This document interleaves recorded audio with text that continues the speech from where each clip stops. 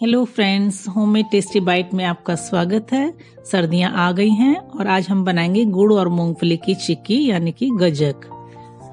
तो यहाँ मैंने भुनी हुई मूंगफली की गिरियाँ ली हैं। ये मैं कच्ची मूंगफली लेकर आई थी बाज़ार से, जिनको मैंने घर लाकर हल्की फ्लेम में, लोट फ्लेम में मैंने सात आठ मिनट के लिए इनको भून लिया था और छिलका उतार कर इनको तैयार कर लिया और दो भागों में मैंने इनको तोड़ लिया है। आप चाहें तो बाज़ार से भी भुनी हुई मूंगफली की गिरी लाकर यूज़ कर सकते हैं। ये आसानी से मिल जाती हैं और 250 ग्राम के करीब गुड़ ले रही हूँ और मैंने उसको कट कर लिया है छोटे पीसेस में। एक चम्मच देसी घी और एक प्लेट में मैं यहाँ, देखिए, चिक्की सेट करने के लिए थोड़ा सा घी डालकर ग्रीस कर लेती हूँ ताकि चिक्की आसानी से सेट हो जाए। और अब गुड़ को हम पिघलाना शुरू कर देंगे। साथ ही हम डालेंगे यहाँ पर देसी घी। देसी घी से हमारी चिक्की का बहुत ही अच्छा टेक्सचर और टेस्ट आता है और खाने में स्वादिष्ट भी बनती है। हम गुड़ को पिघलाना शुरू कर लेंगे।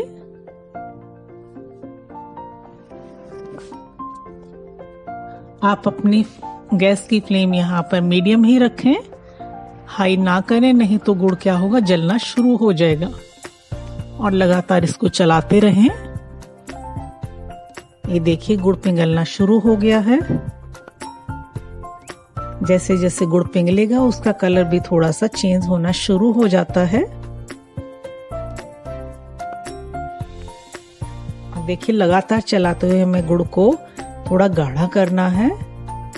ये थोड़ा सा कलर में भी देखिए डिफरेंस आना शुरू हो गया है। तो इसी मोमेंट पर हम इसको चेक करने के लिए एक कटोरी में ठंडा पानी लेंगे और थोड़े से गुड़ को इसमें डालकर देखेंगे।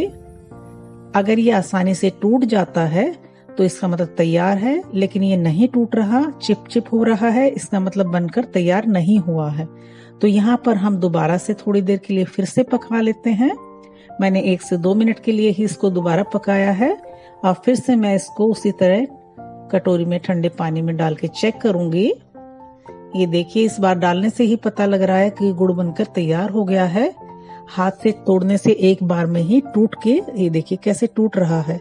आप खा के भी चेक कर सकते हैं अगर दांत में ना चिपके, इसका मतलब गुड़ बनकर तैयार है। और यहाँ साथ ही मूंगफली के दाने ऐड कर देंगे और अच्छे से मिक्स कर लेंगे। अगर आप अपना गुड़ का कलर ऐसा नहीं चाहते तो मूंगफली के दाने ऐड करने से पहले आप गुड़ में एक चुटकी मीठा सोडा ऐड कर दीजिए। उससे भी आपकी गज्जक बहुत अच्छी बनकर तैयार होगी और आपके गुड़ का कलर हल्का हो जाएगा। यहाँ मैंने गुड़ में नहीं मिलाई है आपका मीठा सोडा, इसलिए गुड़ थोड़ा गहरा बनकर तैयार हुआ है। और मैं जल्दी से प्लेट में इसको ट्रांसफ़र कर देती हूँ। हमें जल्दी से गरम गरम में ही इसको ट्रांसफ़र करके सेट करना है, नहीं तो ये ठंडा होने के बाद सेट नहीं होगा। एक स्पेचुला पर दोनों तरफ़ से, देखिए, देसी घी लगा लिया है, ताकि हम इससे गरम गुड़ को अच्छे से सेट कर सकें। ये देखिए चिक्की को आप बिल्कुल फैलाते हुए पतली बना लें।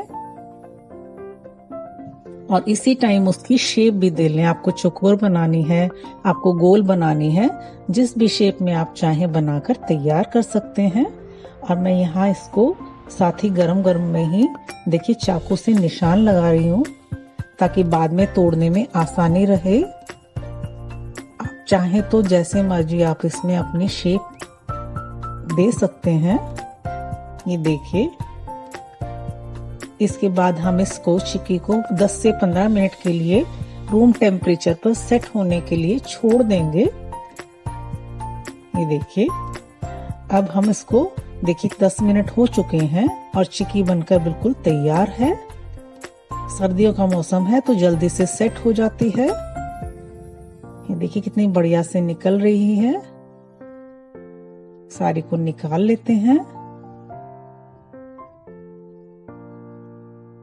चिक्की का बहुत ही अच्छा कलर आया है। ये देखिए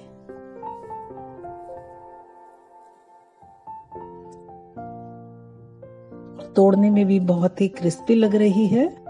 तो प्लेट में निकाल लेती हूँ और आइए अब मैं आपको तोड़ के दिखाती हूँ। ये देखिए कितनी क्रिस्पी और अच्छी चिकी बनकर तैयार हुई है। तो आप भी बनाइए, खाइए और मेरी रेसिपी पसंद आई हो तो please like, share and subscribe कीजिए। Thank you.